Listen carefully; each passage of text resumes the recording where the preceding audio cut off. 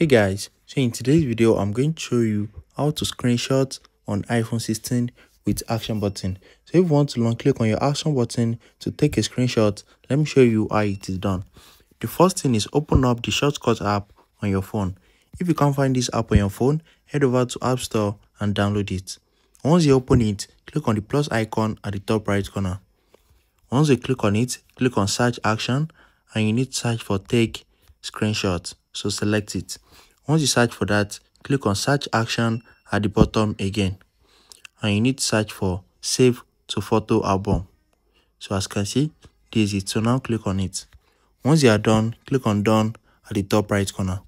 Now the next thing is open up your settings app. And once you open settings scroll down and click on action button. Once you click on it look for the shortcut option. As you can see this is it so now click on choose a shortcut. Once you click on it, select the save to photo album that we just created. So now once you select it, if you long click on your action button, it's going to take a screenshot. Very easy and straightforward. So the screenshots will be saved to your photos album. Sorry, so as you can see, this is the screenshots. So if you found this video helpful, smash the like button and subscribe.